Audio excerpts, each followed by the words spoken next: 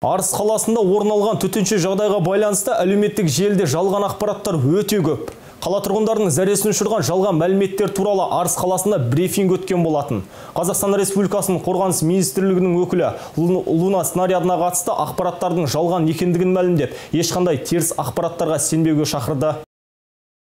На сегодняшний день продолжается уничтожение путем подрыва фрагментов боеприпасов на оборудованном месте на удаление от города Арысь 60 километров. Вывоз боеприпасов с арсенала проводится ежедневно. Уважаемые жители города Рысь, хотелось бы рассылки 11 июля 2019 года по социальной сети WhatsApp.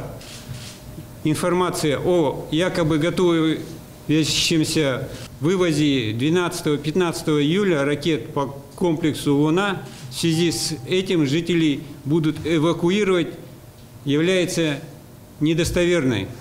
Данную провокацию произвела жительница города Арысь Жаксилыкова Роза Османхановна. В ходе изобличения она обратилась с видеообращением о прощении у жителей города Арысь за данный поступок.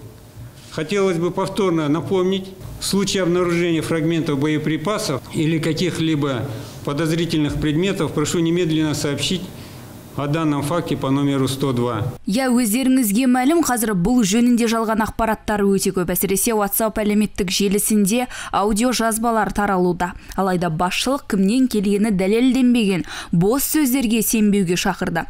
Сондай-ақ 11 шілде күні Арыс қаласында тағы да өрт шыққан болатын. Осы оқиғаға байланысты төтенше жағдайлар департаментінің басқарма басшысы азаматтық қорғау полковнигі мәлімдеме жасады.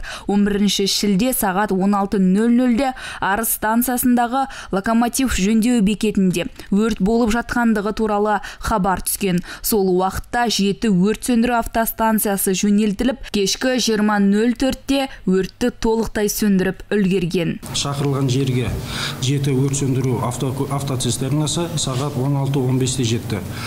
Алғашқы өрт сөндіру көлігі жеткен уақытта бұл жерде сол мекеменің әкімшілік ғимаратының шатыры толып жанып жатқандығы және жөндеу цехының шатырының жартысынан көбі өртке оранғаны анықталды. Сонымен қатар әкімшілік ғимаратындағы аумағы төрт тоғыз шаршы метр болатын қызметтік бөлме толығымен өртенгені анықталды.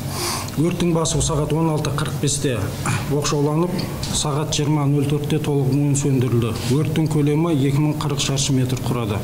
Өрт толығымен сөндіріліп болғаннан кейін түнгі уақытқа өрттің себебі шығыны арыс станциясының желілік полиция бөлімімен анықталуда. Өрттен жарақат алғандар тіркелген жоқ. Тоғжан нарбай ақжол рахманқұлов айғақ қоғамдық телеарнасы.